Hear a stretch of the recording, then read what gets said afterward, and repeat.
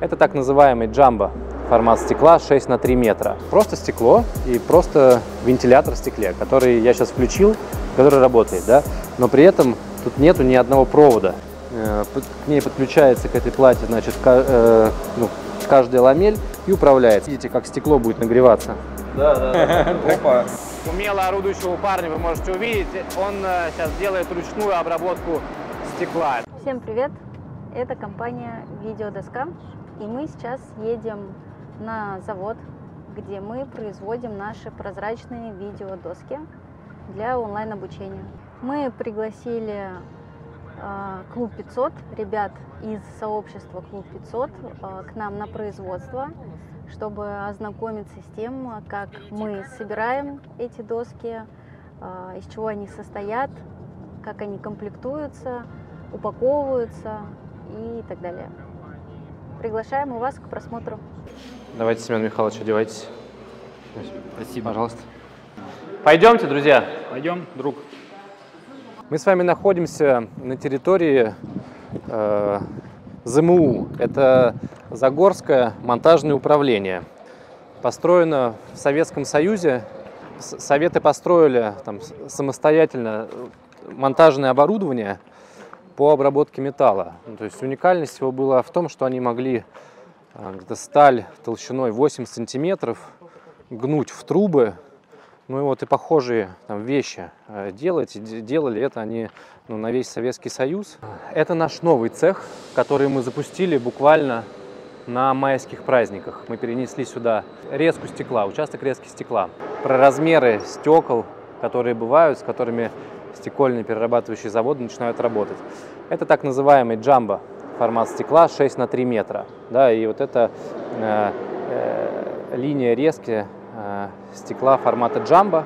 Э, если подойдете вот ко мне поближе, то увидите, что здесь на рельсах есть стол, который ходит э, значит, вдоль э, э значит, запасников наших, этих карманов со стеклом.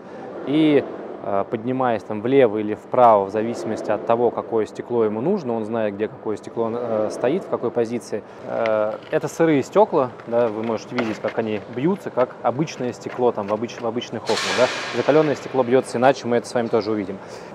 Идем дальше. Как вы видите, стекла, они разного цвета, какие-то зеленоватые, какие-то синие, какие-то там фиолетовые. Сюда сейчас едут к нам Э, европейские ли, две линии сборки э, стекла, ну, стеклопакетов формата 2,8 на 5 метров. Это обработ... наша рабочая лошадка, обрабатывающий, обрабатывающий центр. То есть полировка, шлифовка, отверстия, вырезы. Умело орудующего парня вы можете увидеть. Он э, сейчас делает ручную обработку стекла, да, снимает напряжение там, с э, торцов стекла перед закалкой. То есть присоски позиционируются абсолютно свободным любым образом в зависимости от формы нашего стекла. Сейчас очень шумно заработало охлаждение. То есть стекло после обработки, оно там все белесое такое, в крошке, в пыли. Потом оно приходит сюда, тут дистиллированная вода, которая проходит очистку, заново замыкается в круг, и стекло уже выходит вот, идеально чистым, можно увидеть и готовым к сборке либо в стеклопакеты, либо в конечную продукцию дальнейшую. Из стекла получается либо уже готовая продукция, а, либо чаще всего мы триплексуем. Это, соответственно, результат триплексации, это элементы э, пуленепробиваемого стекла.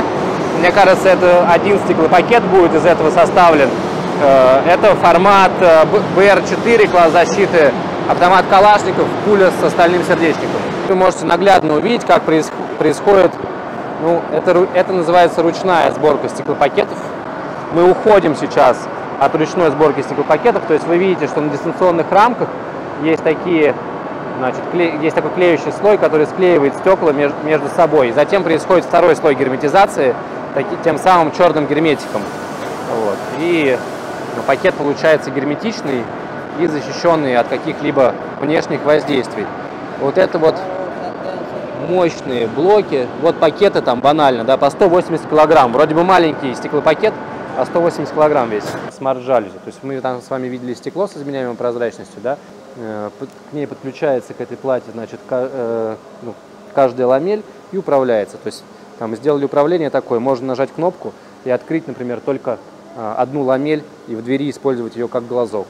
Это, например, также э, печать плюс э, смарт, смарт-пленка. Да, и полно- полноценный смарт, который мы, например, научились э, как де- демировать, что мало кто делает в своих контроллерах, так и вот так- такие плавные эффекты с ним научились делать. Тоже интересно. Но вот это вот моя любимая история. Просто стекло и просто вентилятор в стекле, который я сейчас включил, который работает, да, но при этом тут нету ни одного провода.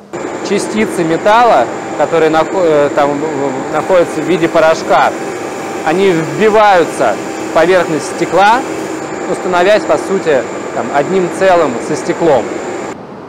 Все, первый провод готов. И второй сейчас припаяют. Чем мне нравится эта технология? Тем, что ну, действительно 220 напрямую. На тепловизоре прям увидите, как стекло будет нагреваться. Да, да, да. Опа. Извините? Подшкварился. Много продукции, там, не знаю, добрая половина, если не больше, едет э, по всей стране, поэтому много ящиков. Тоже первая ком- компания. Вот эту штуку мы сделали. То такого, таких аналогов таких решений нет. Стандартное подключение там, обогреваемого стеклопакета в окне, оно следующее, что из рамы выходит просто кабель, который подключается к терморегулятору, э, обычно с датчиком температуры воздуха, потом э, это подключается в 220. Такой стеклопакет может быть продан надо продавать в каждую детскую комнату, его надо прям втюхивать, потому что все э, стараются учебные детские столы разместить поближе к дневному свету, рядом с окном. Это квази-сквозняки, какое бы теплое там окно не было. Там э, ребенок с одной стороны переохлаждается, там может заболевать в морозы там, и так далее из-за этого. Об этом мало кто думает, а от окна холодит на самом деле. Вот, и грея такое стекло до комнатной температуры 18-20 градусов, мы полностью убираем теплопо- теплопотери там, и квази-сквозняки от холодной поверхности стекла. Специальные пленочные решения, ну, это там различные тонировки, это больше такая там э, дизайн-штука. Здесь мы, конечно, там, э, прокачиваем всякие пленки типа дихройка, вот эти вот переливающиеся хамелеоны там, и так далее, интерьерные. Те самые стеклянные магнитно-маркерные доски, покрашенное стекло, э, позади которого приклеивается металл, то есть специальные неодимовые магниты, которые мощнее, чем те, которые у вас на холодильнике, они пробивают стекло и достают до металла, и за счет этого получаются как бы магнитные свойства. Ну, то есть доска все равно собирается, то есть максимум одновременно собирается там две доски, когда мы гоним. А, Одна доска собирается целиком. А, Единственное, что операции по сборке, она между там, людьми а, там, распределяется одновременно. Кто-то, например, там занимается там, расклё- э, там, э, монтажом этих, монтажом э, гайкозаклепок, там, да, чик-чик-чик. Кто-то э, параллельно э, там всю ленту, да, лента вся сначала собирается отдельным узлом на столе, потом э, уже там соединенная, там спаянная подносится сюда и устанавливается непосредственно в периметр. То есть сейчас из того цеха стекла приходят вот такие. Они приходят в пленке. Вот она пленка, да, в которой мы сейчас вот это стекла под, под видео, то есть вот все уже под ну, стекла, то есть ребята вот так вот с краев эту пленку подотклеивают а, и, вставляют, и вставляют уже в периметр, да. Вот, а потом клиент уже там будет ну, отклеивать, отклеивать остальное. Получается здесь сырой, э, ну то есть э, крайне обработанный. И, короче, он работает в плане подсветки лучше, чем э, полированный торец. На подсветку это влияет как? Да, светит лучше. А вот то, что у них отличается, видишь, что это вообще прям тоненькая полосочка. Это не могу, это не могу пока сказать, если честно. Надо смотреть. Спикера и RGB подсветку мы завели на одну сенсорную панель, э, значит, чтобы не делать там два контроллера, там, потому что два контроллера дороже, чем один усилитель, мы поставили усилитель. Это как, не знаю, пусковое, пусковое реле. Там. Что вы хотите, чтобы там в этой инструкции или в этом паспорте? Там все уже есть. Нет, там она есть, все, там все четко. Надо только распечатывать и класть. Не, ну обновить с учетом того, что у нас там обновилось, не знаю. Там сенсорная, цвета- сенсорная панель, там, сенсорная её- как ее панель, управлять там, и так далее. да, да. У нас может быть производство в месяц, 7 досок в неделю. 7 досок в неделю, любых размеров. Да, неважно. Итак, мы побывали на экскурсии а, в компаниях Калева и Фототех.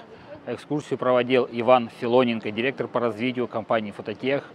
А, Экскурсия получилась очень э, насыщенной. Мы посмотрели инновационное производство различных стекольных изделий. С вами был Семен, компания Видеодоска. До встречи.